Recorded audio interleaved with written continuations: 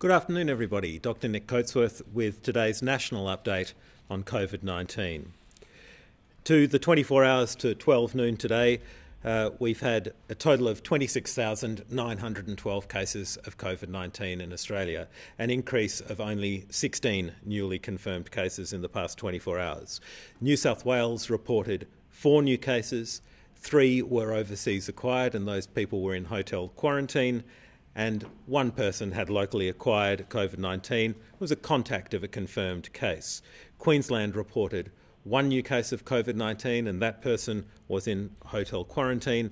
And Victoria reported 11 new cases. Five were locally acquired and contacts of a confirmed case, and six people's COVID 19 cases remain under investigation.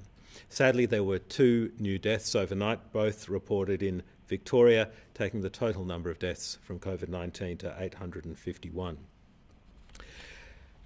These are very pleasing results from uh, Victoria overnight and just a testimony to the uh, immense effort of Victorians, both in rural and regional Victoria, um, particularly in Melbourne and its surrounds, uh, those Australians who have been under a very restricted way of life um, for many weeks now. We would uh, encourage Victorians to keep up the good work. Uh, it is, uh, there is still some way to go as your government and um, health services plan the roadmap out.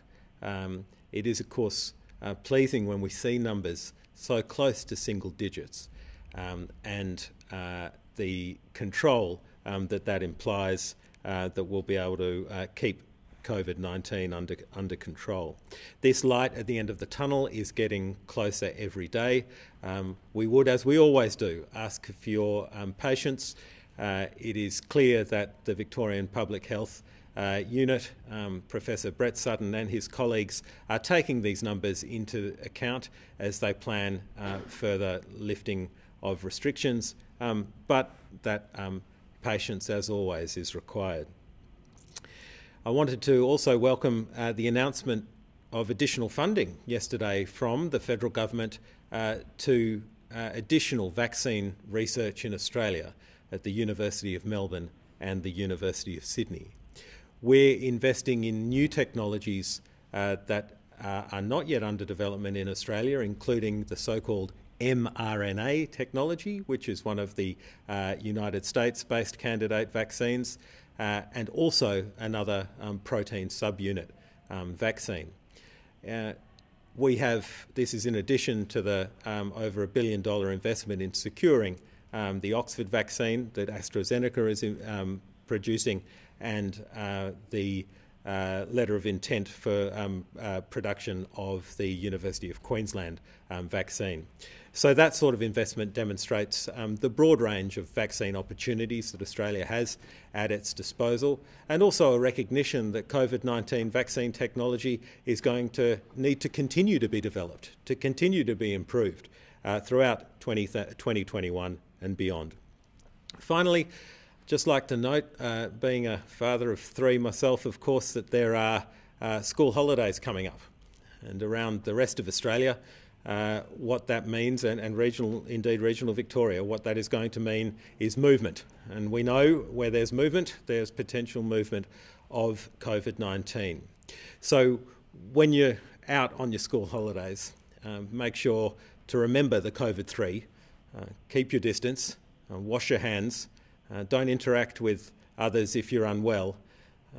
work out where the nearest COVID testing facility is for, the, uh, for your particular holiday destination. And if you are sick on that day that you have to leave out of your major capital city, don't be the one that takes COVID 19 into uh, regional communities in Australia. Uh, this is the new normal for us. We need to be exceptionally cautious. Um, we, need to, we need to get our lives back on track and enjoy the school holidays and, and do what Australians do in the spring school holidays. Um, but we also need to do it particularly in a COVID safe way. And uh, I've got um, some in the room and some on the phone, so I'll just go to Tamsin to start with.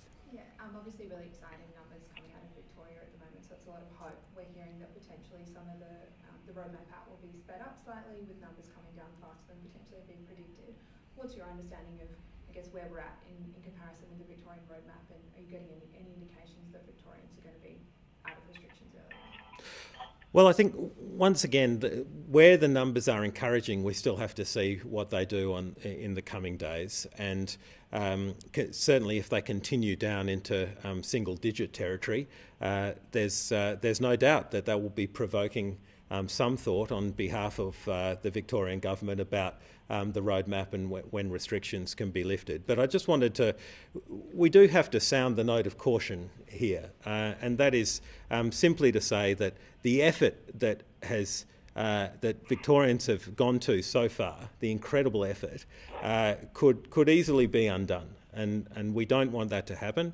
Uh, we, want, um, we want those decisions to be made with caution and safety in mind, and, and we're confident um, that the Victorian uh, uh, Public Health Unit is, is doing that, and we're providing advice as well uh, through, through the AHPPC.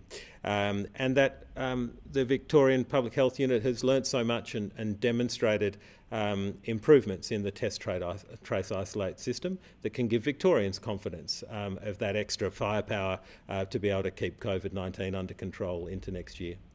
And just on Victoria, I guess as well, has the AHPPC ever given consideration to the impact of a, a curfew on spread of the virus? Has, has, that been something that you believe would be beneficial, or um, what's what's the?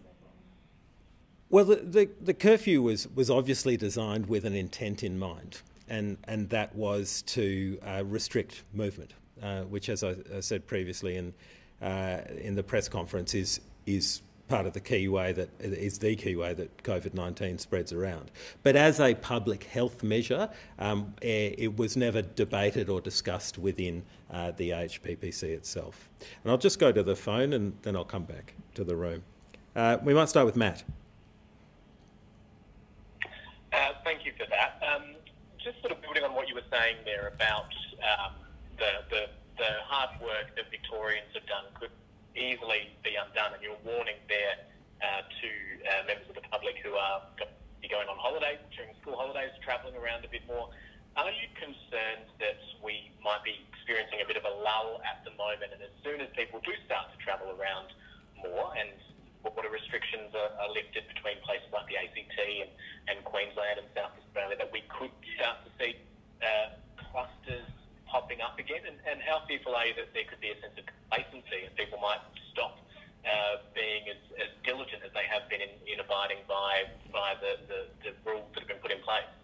Well, Matt, it's it's always going to be a balance, and we're clearly uh, looking at numbers within uh, seven out of the eight jurisdictions in Australia um, that do allow um, movement within um, states from um, urban to regional areas, from uh, Sydney um, down to the south coast, or indeed from Canberra to the south coast on, on school holidays. So there would be no point at the moment in restricting that sort of movement because the, the numbers um, would simply not favour that as a, as a proportionate response. But uh, as I've said on, on more than one occasion, uh, you know, government, the AHPPC, uh, we can't do this on our own. So with those numbers being low, um, the obvious way to keep them low, um, but to, uh, to keep our school holidays as close to uh, as how they usually are, is to is to be as safe and COVID safe as possible, and that's going to be a responsibility um, for everybody and will be a responsibility as we lift um, state borders as well. There's the opportunity now for residents of the ACT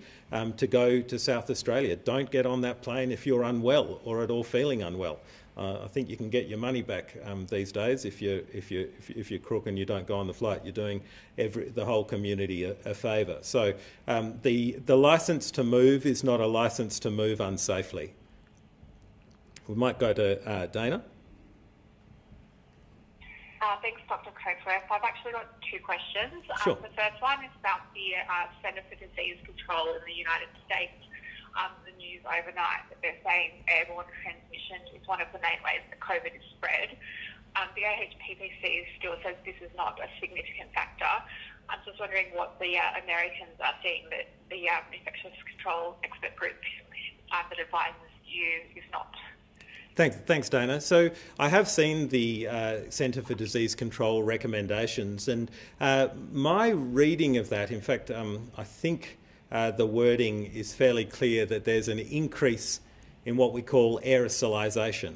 Uh, and what they've suggested is the main mode of transmission is aerosol transmission, which is not quite airborne transmission in the in the um, purest sense of the word. But what does that mean for Australian national guidance? Um, basically, uh, it has always been the case that uh, Australian guidance, US guidance, European guidance has recognised that aerosols are produced um, by someone who has COVID 19 and um, that they can be inhaled by someone in close proximity and can be a form of transmission. So, as I'm speaking to people now in this press conference, um, about this far away at least, uh, my speech is creating aerosols, and, and that, that, that aerosol um, can contain COVID 19. Whether it is the main mode of transmission or not is one of the issues that's currently under debate, and we've seen that there's uh, been a shift from the Centre of Disease Control I didn't see the references that were published on the website um, that they are using to base that decision. It is the position of other major organisations, uh, our own Australian Health Protection Principal Committee, the European CDC, um, Public Health England, uh, that the main mode of transmission um, is contact and droplet, and there's an increasing recognition that aerosols uh, uh have a role. Now, what has Australia done about that? Well, during the Victorian second wave, uh, the guidance on when to use N95 masks, which are the ones that protect you from transmission of airborne uh, infectious disease, was expanded such that uh, any patient within a hospital in Victoria at the moment, uh, either suspected, the so called SCOVID, or COVID uh, positive patients, are being treated by practitioners um, using an N95 mask. And that was an important step recognising that role of aerosolisation. So that's a long answer, but I wanted to um, make sure that people were very clear um, that both the infection control expert group, the AHPPC, um, and federal and state uh, and state health departments have all recognised the important and growing role of aerosols in the transmission of COVID-19. We continue to look at the evidence on a daily basis. You've got a second question, Dana.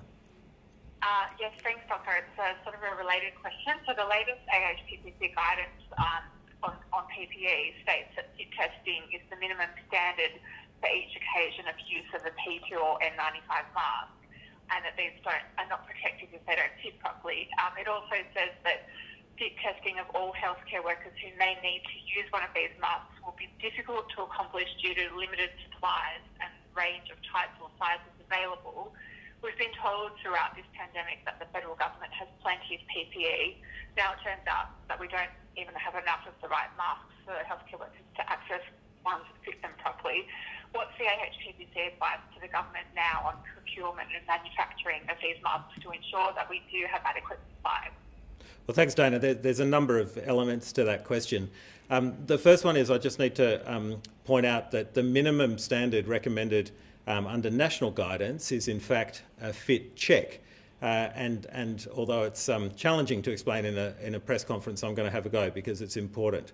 Um, a fit check, otherwise known in the US as a seal check, when you put on an N95 mask, um, you make sure that it's adequately moulded around your face and that you can't feel obvious air leaks, either usually around the chin or up around the bridge of the nose. Easy for people um, with glasses, of course, because they'll fog up. Um, now, that is the minimum standard, and that is what anyone must do before they go into a room with someone with suspect uh, COVID 19 in Victoria or COVID positive in Victoria at the moment. Um, that has always been uh, the minimum national standard. A fit test is different.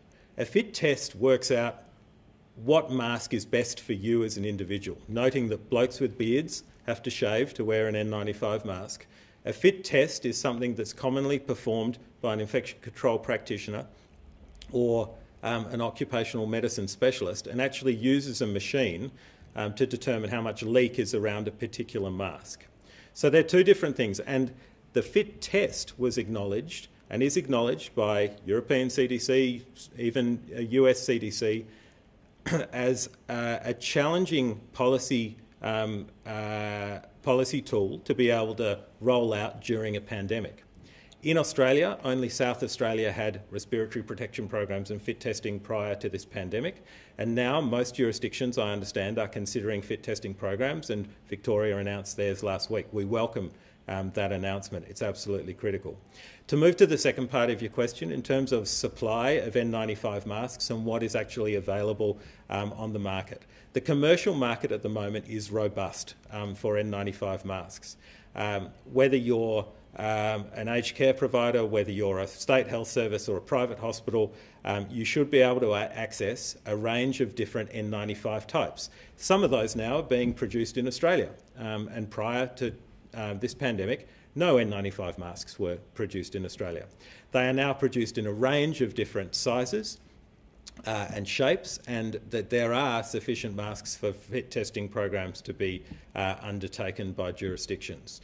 Uh, so the last thing I'd say is that there are still, however, um, some very popular masks, uh, such as some of the 3M series, that are still difficult to get on the uh, national market. So the important thing for any fit testing program is range of masks and sizes of masks and that they uh, should be sufficiently commercially available in Australia at this point in time uh, for employers to start respiratory protection programs. We'll just move. I think there's one more person on the call. Yeah. Yes, go ahead. Who's that? Paul. It's, Paul. It's Paul, Paul Osborne from AAP. Um, just um, wondering how concerned you are about the drop off in testing rates. Um, by, by my calculations, they're down about 30% over the last three weeks. And do you have any sort of theories on why it is actually happening and whether it's particular areas or particular demographics or, or what, what the situation is there. Well, well, Paul, I think we've all expressed um, concern about the the decrease in testing rates. Uh, after all, the strategy is to detect people who have symptoms of the of COVID-19, and then you find your clusters, and the clusters um, can be uh, sorted out before they turn into to, um, outbreaks. Uh, so we can only ask Australians with even the most minimal of symptoms, even if you think you've got hay fever, if you haven't had a COVID-19 check, um, you need to go and get tested. Um, with regard to how public health units are actually targeting their testing, um, they're very aware of the need occasionally to do what we call asymptomatic testing, which has been discussed here before where um, certain groups of people who are showing no symptoms at all but have been designated as close contacts uh, of um, people with COVID 19 are encouraged to go and get tests. Uh, and that's an important tool as well. How do we lift um, testing rates? It's actually, a, it's actually going to be a challenge because uh, we're moving into uh, the months of the year where there's less respiratory virus. There have only been 36 deaths from influenza this year. And so uh, it's challenging to get people to get out and get tested if they're, if they're not exhibiting uh, symptoms. So I think to, to, sum up, I think there's going to be a natural decrease in, in the number of tests being done because of less respiratory symptoms, but just a, a big caution um, that just because we're entering the summer months, this will have no impact on our risk of COVID 19. We just saw the first and second waves in the Northern Hemisphere to, um, taking place during the summer months, uh, and so we, we can't at all be complacent. And just to follow up, mm. is it possible that the, the drop in testing rates is actually skewing the number of positive cases that, that we're seeing? As in the number of uh, drop in numbers might yeah. um, be masking uh, a true uh, number of undetected cases out there. Well, the percentage positivity has stayed the same, even in Victoria, which only, I think, recorded seven 7,000 tests. Um, and those numbers are getting um, quite low now. So I, I, don't think it's going to be masking a, a, a, large number of undetected cases. What I do know, though, is that there's a, a big focus in the local affected local government areas in uh, Victoria, around Casey, where they've had the most recent cluster. Um, and so a, a, large number of those tests will be being conducted in those pop up clinics, um, which should be of some reassurance. And I'll just go back to the room, and, and if you like to stay on the line, I can offer you a couple more questions as well. Yeah, yes, Tamsin. Great, thank yeah. you. Um, if, as part of a contact tracing interview, someone was to reveal that they'd breached a public health order, should that person be fined, or are you worried that would have an adverse impact on people telling the truth during those important interviews? Well, I think the principle is that we want to do things that are going to encourage people to be as open as possible. Uh, and so, um, no matter um, what reason you may have um, for wanting to uh, conceal information to a public health official, um, please don't do it because it has um, some very widespread uh, um, implications for your community. With regard to enforcement, um, that is a that is a difficult question, and it needs to be one that I think is made on a case by case basis. Um, and we've seen in Victoria clearly uh, the decision was made um, with certain um, members of households not um, to fine them because they were forthcoming with information. Uh, and um, for that particular case, with that particular information available to the um, Victorian health authorities. That is the decision um, that they made. So I, I think you can expect um, to see some variability with that.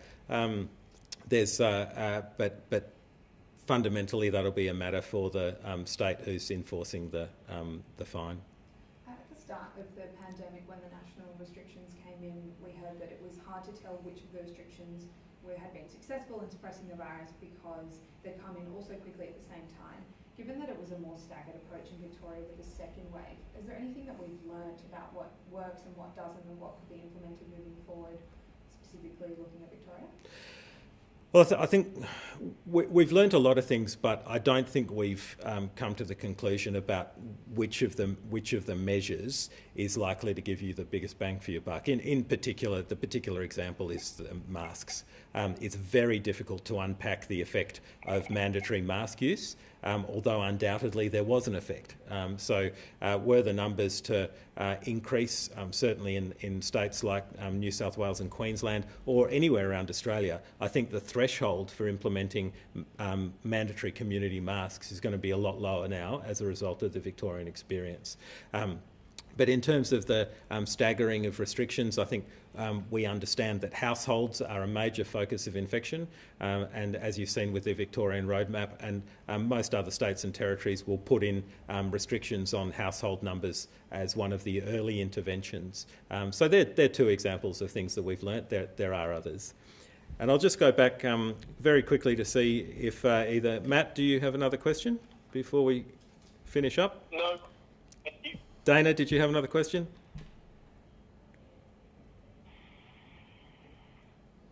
Dana might have hopped off the line. And Paul, did you want another question? Uh, no, I'm fine, thanks. Okay, good. Well, thank you very much, and uh, we'll look forward to updating you later on in the week. Thank you.